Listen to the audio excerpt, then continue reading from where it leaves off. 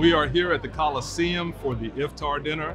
It is the celebration of the end of the holy month of Ramadan, and we're here to support our Muslim brothers and sisters in this beautiful celebration.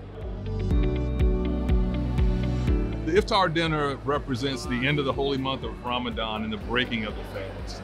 It's a celebration within the Muslim faith, and it's an embrace of all faiths in our community, and tonight's a very special night.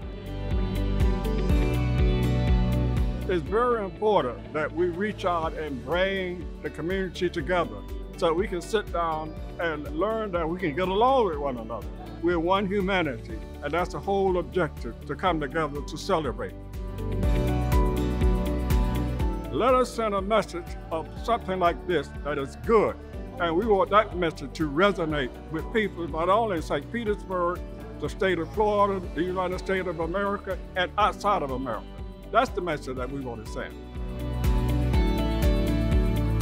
It's also important that we embrace our differences and that we act to understand our differences. When we do that, we can become a better, stronger city, stronger community, and that's why this event tonight is so important. We Are St. Pete means all of us, and I think that's an especially important message that we send out to the world tonight.